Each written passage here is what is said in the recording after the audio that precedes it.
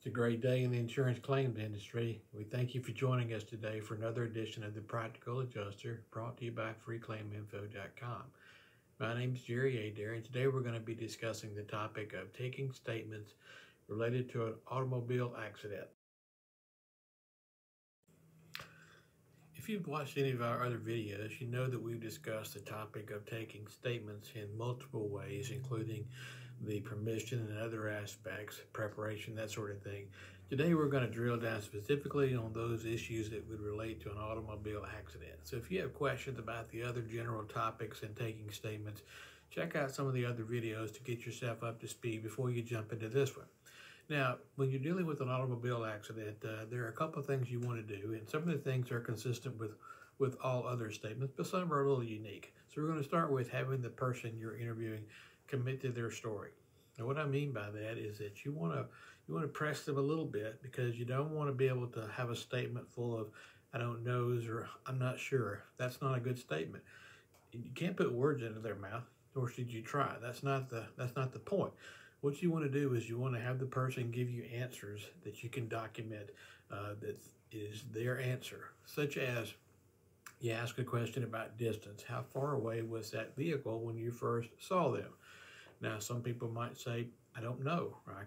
I have no idea. I don't know how to tell you that. Okay, that maybe an honest answer. Okay, so what I will do is I will read back to them things such as, okay, let's start with this. Was it further than 10 feet away?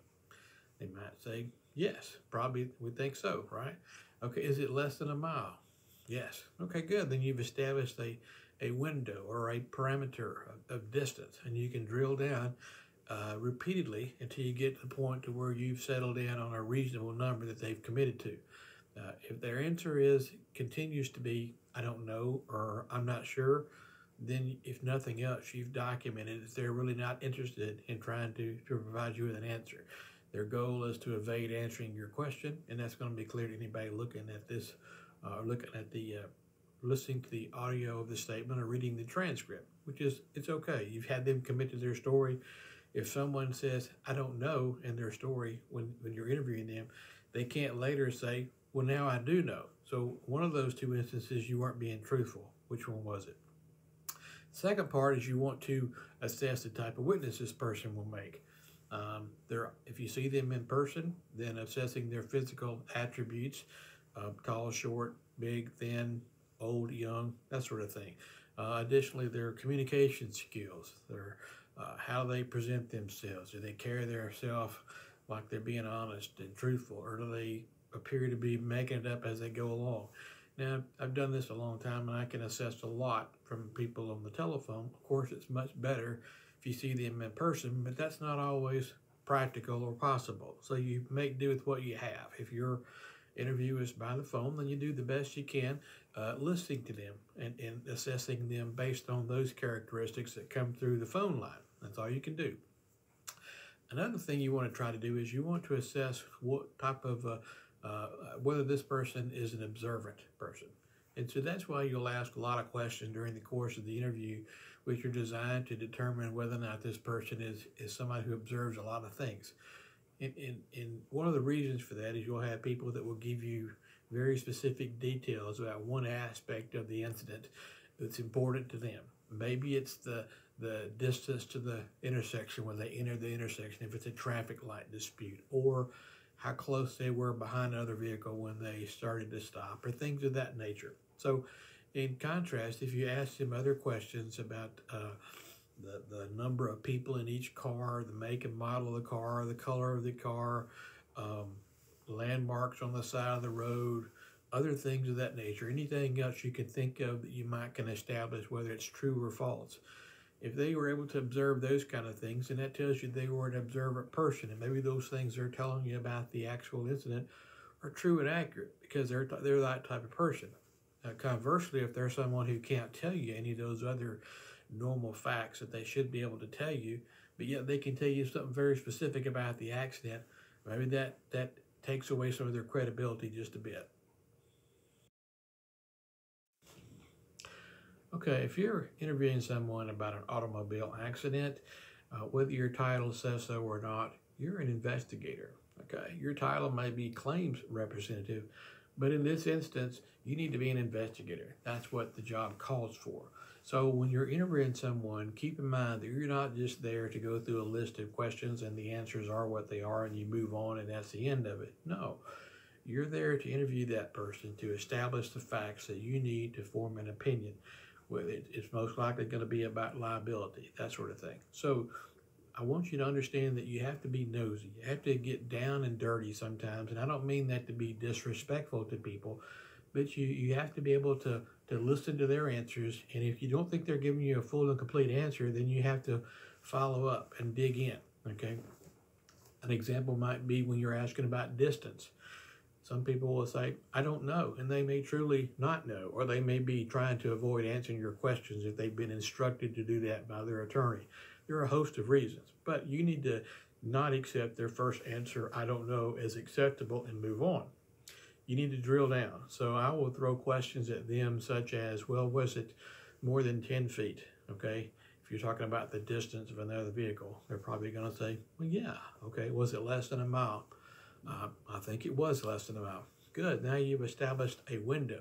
So they're trying to give you answers at that point. Your job then is to give them questions and frame them in such a way they can honestly answer you and help you arrive at the information you need while you're helping them establish distances. Sometimes you'll need to use landmarks. Was it near that big tree on the corner of that house near the accident scene? Or was it near that water tower? Or how far was it from that traffic sign or that light post? Or whatever landmarks you can find. Maybe there's a business there and you can say, were you in front of that business? Was the other car, was it near that business or this other business? Things of that nature. There are a host of ways you can get people to narrow their focus and give you some information about intervals and distance and placement of vehicles. That's your job to ask those kind of questions. You're the expert. So use your expertise to, to have them answer questions in such a way that will help you gather the information you need. Now, sometimes I'll also ask questions that I know the answer to, and, and this is designed to, to get them to talking. Maybe it helps me determine if they're being honest and truthful. If I ask them questions about something in particular that I already know the answer to, their answer is going to tell me if they're being honest or not. That's a good way to help assess that person's credibility, in my opinion. You also want to be uh, able to ask leading questions. Uh, sometimes you don't want to ask specific leading questions, but oftentimes you'll need to do that. You're, you're trying to get them to fill in the blanks for you. And some people are good at communicating details. Some are not. You get a bunch of yes and no answers. That's not very good. It's not very helpful to you. So you might need to ask leading questions such as, would you say the uh, the vehicle was traveling less than 20 mile per hour, or you think they were traveling more than 40 miles per hour? What, what's your opinion? You know, you're you're kind of putting them into an area where they can give you a yes or no answer, and it tells you some of what you need to know to help make that assessment of the liability. Okay, now we're into the questions at the interview, and you need to be able to focus on getting the information that you need. So, how do you go about doing that? Well, um, there's a couple of things I like to consider, and that is I want to uh, be firm in what I'm trying to get from that person I'm interviewing. Now, I don't mean that to say you browbeat them or you you try to force them to give you the answers that you want. That's not what I mean. What I mean is that you you ask specific questions, and oftentimes people will either intentionally or unintentionally answer a different question. Uh, you'll ask, uh, "How far away were you when you saw X?"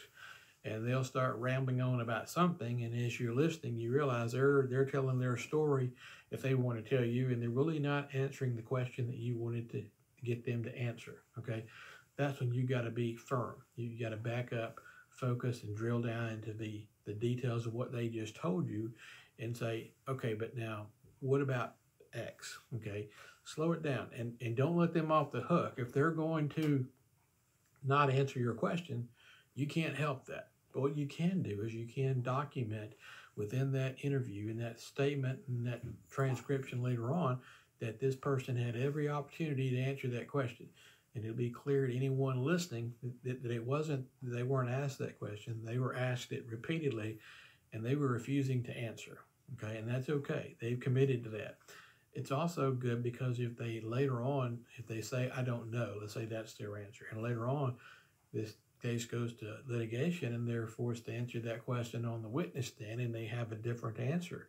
Well, the defense attorney is going to use this interview to dispute their version because they're going to have two different answers. One is I don't know, and one is X. Okay, were you being untruthful then, or are you being untruthful now? So you've accomplished what you want. If somebody's trying to play games and not answer your question, then you've accomplished your goal, which is you force them into a particular answer, whether they that's what they intended or not. Now, the other thing is you want to focus on details. Uh, people will give you general ideas about things and general descriptions of things. And so I like to focus on things that can be very specific, such as give me the make and model of the other car. Okay, what lane were you in? Um, what, what lane was the other car in? Uh, where were you going at the time of the accident? Where were you coming from? Things of that nature. Things that you can force them to give you, or they can they can give you an answer, but maybe it wasn't what they expected your questions to be. They were expecting your questions to be just about the actual impact. Okay, so you want to ask questions about other things that help assess their ability to, to gather data, to be observant or not. So you're asking questions about details, uh, things like what part of the car did the impact occur? Was it to the front, the rear, the right, the left side, things of that nature? Uh, where'd your cars end up? Okay, where, what part, what lane were you in when the impact occurred? You know, focus in on details like that. Were you near this point in the roadway? Were you near that point in the intersection? Had you just entered the intersection? Were you almost out of the intersection? You know, you're sort of narrowing the focus to getting the specifics of where they were. You're pinning down their version of events. They're still telling you what they want to tell you, but they're being forced to give you a lot more details. Now, if they're being honest, that's not a big deal. It's what you should be able to do. But if someone's attempting to not provide truthful accounts, uh, it's going to become relevant when you sit down you examine all the answers they gave you with the facts. You're going to find out that some things just don't match up. I've had that happen often. And it's an excellent way to get people to, to answer questions which might actually help prove that they're not being honest when they give you their version of events. Now, when you start talking about uh, the details of an auto accident, there are a few things that I've learned over my years to help you assess uh, the credibility or lack thereof of, of people that you're interviewing. And so, one of the things I always do is I have people give me their route. And usually, this is something they're really not expecting. When you ask someone to tell you where their day started or where that trip started, what location, and where were they intending to go to? What was their intended destination? Get enough specifics that you can put them both on the map and see does the, the route from point A to point B lead to the point where the accident occurred or doesn't it? And it's one of those things where if people are really not expecting. Maybe they've got a, they're being dishonest and they're trying to give you a, an account of the accident they want you to believe. They probably haven't given a lot of thought to those kinds of details. They didn't think you're going to ask about those, those kind of things.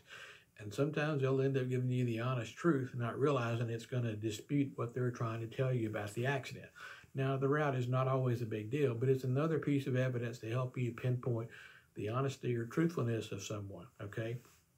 It might help you determine whether they were coming from work or not, whether they were coming from home or not, whether they were coming from a, a nightclub or something of that nature, social event. Who knows? But that's that's why you do those kind of things. Uh, maybe you go to uh, the extent of finding out who they met with when they left place A that kind of thing. What were they doing at place A? Those are all kinds of things that you can do if need be once you've established the details of where they came from and what they were doing, what, they, what their route was all about, where they were headed to. Now, you also want to clarify any expertise this person has. So, if their job is to is a traffic engineer, well, they've got a lot of expertise about traffic controls and lane usage and all those kind of things.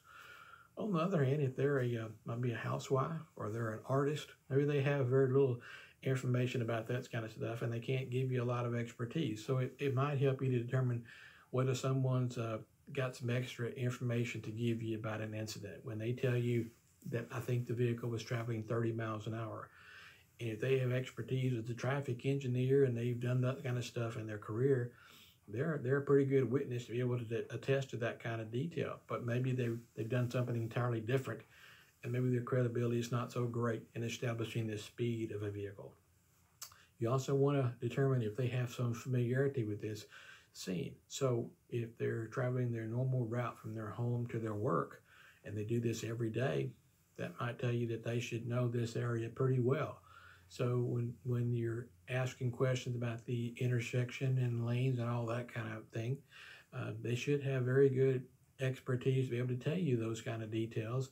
And if, if something comes up during the course of the interview where they just said they didn't know or they weren't expecting that, well, that raises the question: You drive this route every day. Why wouldn't you expect that? Is it is it changed? Is something different than what you're seeing every day? Another piece of the puzzle. Uh, reconstructing traffic accidents is something that specialists do uh, in many ways. And as an adjuster or an investigator, we don't have to have the same level of expertise that those experts do traffic uh, reconstruction experts, engineers, that kind of thing. We don't have to have their expertise because we don't have to produce the same level of, of a product as they would in reconstructing an accident. However, automobile accidents are really not as unique as people might seem to believe they are. And you can typically take the post accident details and you can help reconstruct what likely occurred. Once you establish the facts as presented to you from the different drivers and witnesses and you go to the scene, it's not that hard sometimes to determine what actually occurred. Now, one of the things you want to do is you want to document all the uh, conversations post accident with everyone. Maybe they mentioned something that might help you to reconstruct the accident based on that conversation. Also, um, conversations immediately follow the accident are considered to be utterances, and courts give them great uh, weight because they're most, most likely to be the true facts before someone has an opportunity to think of a different version of events. So they, they give great credibility to those kind of statements. Injuries and observations of anybody in any vehicle. So you'll ask people a question about who was in this vehicle, who was the driver, was it a male or female, old or young? What do you see on those people? Injuries. How many occupants? What seats were they in? Did they exit the car alone? Did they have to be helped out by ambulance attendants? so that kind of thing. Get as many of those kind of details as you can. And then evidence at the scene. Things like, did you see any tire skid marks for a vehicle sliding? If someone says they brake to avoid an accident, there should be skid marks somewhere. Look and see if you can find those. If you didn't, it makes you question, well, did they really try to stop? Maybe you see yaw marks, which are tire marks left in the pavement when a car is trying to turn quickly and hard. They'll leave little impressions on the ground with, with black unusual looking curvature marks. That's kind of interesting to find those. It might help you to see a car was trying to avoid an accident. Or they were making a turn a little fast, that kind of thing. Look at the, or ask the details about the post vehicle position. So if two cars collide, uh, we can find out where the collision took place based on the evidence. And then you want to find out, well, where did car A end up afterwards? You want to have them give you the position, the direction it was facing, the approximate distance from the point of impact, what it was near. Was it up against the curb? Did it go off the roadway? How far? Which direction? Enough that you can draw a little diagram while you're doing the interview and place where this vehicle was. Do that with every vehicle in the accident. Now, that will help you sometimes if speed is a factor. You're trying to determine if a car is traveling fast or not. Uh, looking at how far they travel post impact will help you make that determination because a car traveling at a slow rate of speed is probably going to stop right at the impact or pretty closely thereafter. If a car travels a great distance after the impact, you're talking 100 feet or more, they're most likely traveling at a decent speed. Now, you can do some calculations. There's some charts. We have those on some of the free claim info tools that'll help you to do that sort of thing. But you can come with some close proximity to making a, an assessment that this vehicle is probably going more than 20 miles per hour based on these factors. You might not can nail it down with, with certainty and exact speed, but you can come reasonably close enough to tell you whether you need to engage an expert in, in reconstructing the accident. Now, when you're working on an auto accident claim, you know that uh, most likely there's going to be police involvement. So when you're doing your interview or your statements, that's something you want to address. And I'll ask these kind of questions of anybody that I talk to, whether it's a, the insured driver, the claimant, witnesses, so on and so forth. So one of the things you want to find out is, is which police agency it was. Uh, if there's more than one officer out there, get as much information as you can about the officers that were out there. If there are people that were involved in the accident, even if they're witnesses, uh, find out their involvement with the police. So did the police officer come and interview them? If there's more than one officer, try to get a physical description of which officer it was. Uh, find out what the officer asked them, what the officer told them about the results of their investigation, I guess. Uh, and also, one of the things I like to do is ask people, did you overhear the officer when he talked to the other driver? Were you close enough? Sometimes they'll be real near one another and they can hear the conversation. So I'll ask that. If they did, what did you hear? Tell me what observations uh, you can tell me about their conversation. Who said what? Now, then, if there were citations issued, find out what you can about that. Find out the officer gave them some information about why he was citing them for whatever it was. Maybe there's a legitimate reason, maybe there isn't. Uh, and the last thing is when you're dealing with police officers, they're human like everyone else, and they have their biases. Uh, so you want to try to draw that out if you can. So I've, I've asked people specific questions about this when they'll tell me, yeah, I think that officer had made up his mind before he started talking to me. He talked to the other driver. He seemed to be very friendly with that person. And when they came to me, they really didn't ask me much. They just said, here's what we're going to do. So the officer clearly had some bias. Now, we don't know that it was an improper bias or anything of that nature, but there seems to be something going on there. So that might be a situation that you want to address a little bit. And what I mean by that is maybe you need to go talk to the police officer. Ask him, can you tell me what led you to make this determination when you issued a citation for this or that or the other, or didn't issue a citation for that? He might have a legitimate reason, okay? But again, he'll either tell you that or he may assess that this person really does seem to display some bias. Maybe you can see that in your interaction with that police officer. Maybe not. Maybe you come away with a completely different point of view and you think the officer was just doing their job and our, our driver that told you that just not willing to accept reality. Now, also something to consider is that a police officer issues a citation. That's not necessarily a piece of evidence. As long as the driver he issues it to uh, pleads not guilty and goes to court over that citation, then it's not admissible as evidence. So just because he issues a citation to one driver for failure to maintain safe lookout, and that driver pleads not guilty and the court says, no, I think you're guilty. Well, that's never going to enter the civil trial. It's not going to be part of that. If we, see if our driver pays the fine, that's an admission of guilt. That is usable. That's important. So you'll ask those kind of questions. If it's been long enough, they've already had the citation resolved. Ask questions about that. Did you did you pay the fine? Okay, if they did, that's an admission of guilt in, in, in the eyes of the law, whether that person knows it or not. Well, this concludes our video for taking statements about an automobile accident. I hope that you find it to be interesting and helpful. And if so, please consider uh, liking it on YouTube.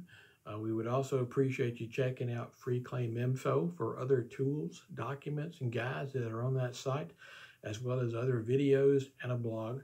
Uh, there are posts on the message board about each video that we produce where you can read questions and comments from others. You can post your own questions that someone at Free Claim Info will try to answer, or someone else in our claim community can jump in there and try to answer that for you. Thanks again for joining us.